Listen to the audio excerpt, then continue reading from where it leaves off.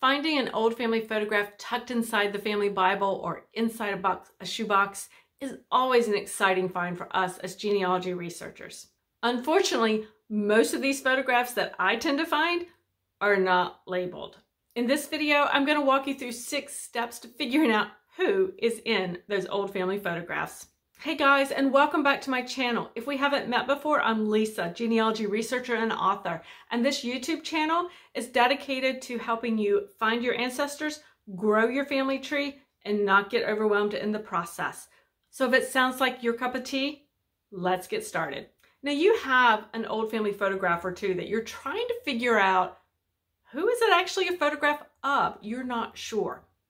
Well, Let's walk through some steps to start narrowing down and try to figure out who that individual is. The first thing you want to do is to sit back and consider how did you come to possess that old family photo? Did you find it online or in somebody else's family tree? Did you receive it from a relative who sent it to you? And if a relative sent it to you or somebody just said, here's a box of old family photographs, Find out how they came to possess that photograph or those photographs. And keep that line of questioning going as far back as you can to determine who owned this photograph over time. I know you're wondering why I want you to question so much about who owned this photograph before you and how it came to you.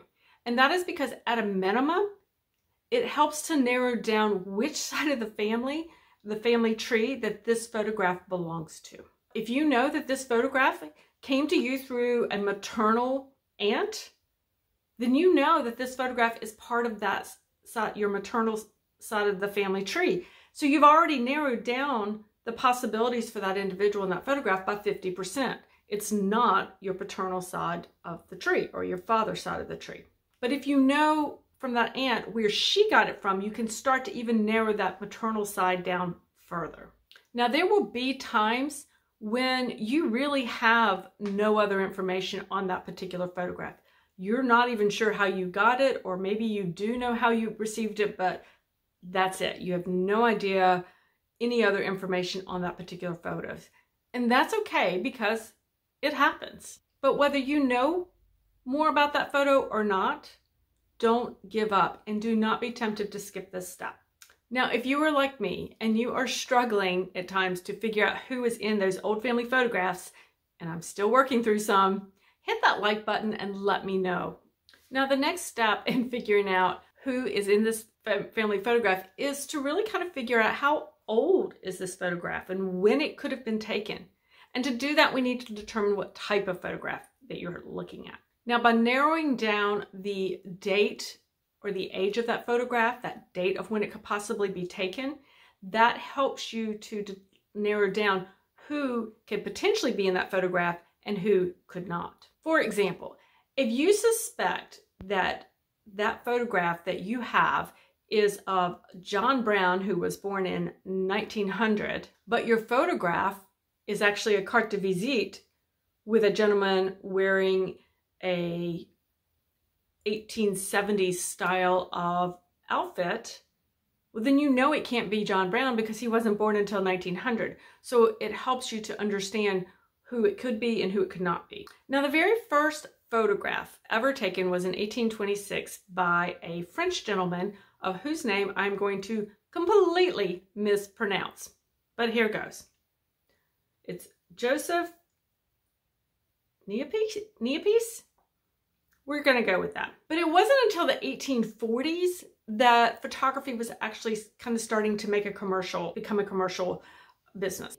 Those early photographs were known as daguerreotypes. The daguerreotype is that those photos in those little hinged cases. And the ambrotype is very similar to that. They are also in the, the little hinged cases but they use a different developing process. Both of those are actually very fragile, very sensitive to light, and can fade quite easily and not very easy to find. Typically, the photographs of the past generations that I see in my genealogy research are the cabinet cards, the carte de visites, the tin type, and then the more traditional kind of paper type of photograph that we start to see in the 1900s. The tin type was used from the mid 1850s to the 1890s, and many of the surviving ones actually show wear and tear or small scratches. The carte de visite, or as many call them, the CDV, first came about in 1859 and was typically studio photos of individuals. The photo was mounted on a thicker cardboard and they were actually quite small, oftentimes around that 2 by 3 size. The cabinet card became popular in the 1860s and all the way up into the early 1900s. Again, they were the photographs, you will see them on those thicker cardboard type of mountings. The cabinet card, though, was much larger than the CDV. The backings on the cabinet cards, as well as those CDVs, vary in color as well as in thickness, and that can help to determine an age on a particular photograph. In the early 1900s, the Brownie camera was introduced to the general population by Kodak. And for the first time, the general population could take affordable photographs. And did my great grandmother and her friends in the early 1900s ever embrace that technology?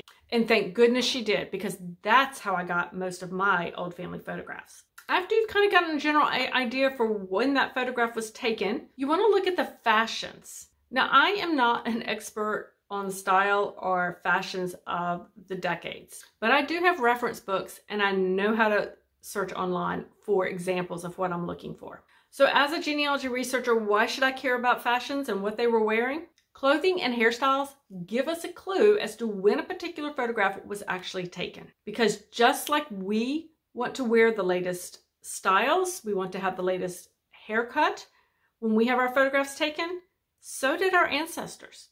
Remember, they're not that different than you and me. Open up a search tab on your computer and Google women's clothing styles late 1850s or men's hats 1910s. Compare your search results with the photograph you have so that you can start to narrow down the fashions that you see in your photograph and be able to put a date to them. Now here's a tip when you're trying to kind of evaluate those fashions that you see in the old family photograph with those reference photographs you're seeing online. Look at, say, for instance, in a, a woman's dress, look at how the sleeves fit. Are they fitted snug or are they loose? Are they poofy up top here, but narrowed down at the wrist? What, how is the skirt shaped? Was it a high waist, a low waist? For a man, look at the suit coat. Is it double-breasted? Is it single-breasted? What type of collar or tie is the gentleman wearing? These are all clues to fashions for a certain era. And they can all help you narrow down the date or the time period a particular photograph was taken. Now, if you're enjoying learning about old family photographs, be sure and hit that subscribe button down in the bottom right hand corner and you'll be notified when I post new videos here at the Are You My Cousin YouTube channel. Okay, so let's get on to step number four. We're already at step number four, and that is to take a really close look at the photographer. Look at your photograph closely. Can you see a photographer's name or mark on that particular photograph? Is there a location or like a city? Knowing the photographer and the location where that photograph was taken will help to put that individual who's had their picture taken, the subject of the photograph, in a particular time and place. Now you may need to actually research that particular photographer a bit in city directories and the census records to learn a little bit more about him and the years that he may have been in business to narrow the date of that, that photograph down even further. For example, if you have a photograph and the photographer's name and his location is Washington, D.C., well, then when it comes to figuring out who that individual is in the photograph, you want to look for your ancestor who lived in that area or perhaps traveled to that area, was known to have been in that area. If that person in the photograph looks like your ancestor who may have lived in Texas, but who never traveled and never left Texas, then he's not going to be the gentleman in DC. Now, next up, when it comes to really figuring out who, who's in that family photograph, is to actually turn to your family tree. You've narrowed the date down. You know which, you've kind of narrowed down the which side of the family it is from those first steps. So the next few steps we were looking at the date, trying to narrow down the date as much as we can. We can actually get fairly specific sometimes, looking at the type of photograph, looking at the um, fashions, looking at the photographer. We've narrowed down when that photograph could have been taken and even perhaps where it was taken based on that photographer's mark. So let's start looking into our family trees to see if anybody could match those particular parameters that we're seeing. Look at your family tree and really determine who is a likely candidate for that particular photograph, for that location, that date, that time period, and realize that you are likely going to come up with more than one candidate, and that's okay. When this happens, what you want to do at that point is then to go a little bit deeper into each of those individuals, research those individuals more to see if you can place them in the right location at the right time or if you can find another photograph that would give you a hint or a clue to their appearance in that photograph. Now, once you get to this point, and I've gotten to this point on a number of my photographs, then what I do is then I get more eyes on the photograph itself. If you know which side of the family that photograph is from, as we have determined earlier in the process, get it in front of the relatives, get it in front of other researchers. Tell them your theory of who you think it is and see if they can corroborate that or if they have other ideas as well. Post it in family Facebook groups, post it in genealogical society Facebook groups you might be a member of.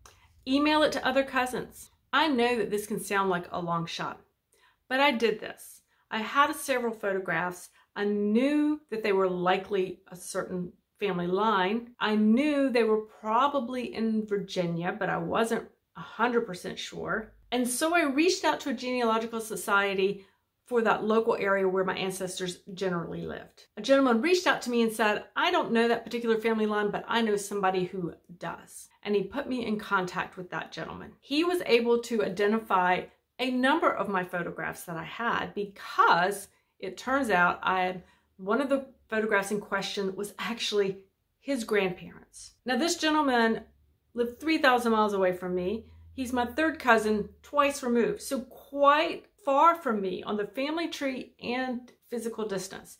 Yet, I had his grandparents in a photograph in my closet. So, while I could get the time period down and I could get the date down, I was struggling to get the actual persons in that photograph. But by getting taking that next step, getting those people, getting more people's eyes on that particular photograph, I was able to get it identified. So make that effort to reach out, make that extra step. And the bonus is I had another researcher who was researching the same family line, and we were able to share other information as well. Will you always be able to identify who was in your old family photographs? Unfortunately, no. The reality is identifying individuals in your old family photographs takes time, sometimes a lot of time, for the right clue or the right person to get their eyes on that particular photograph. I've been diligently working to identify all the photographs in my old family photos collection, and I'm about 75 to 80% there. And while I still have a chunk to go, I started at pretty much 10 knowing 10%. But by going through these strategies, I've been able to continually make progress and get these photographs identified, and you will be able to as well. Now, if you're thinking, Lisa, I am ready to tackle that box of unknown photographs in my closet, I've got an ebook to help you do just that. Head over to lisalisson.com forward slash ID dash photos to learn more and get started.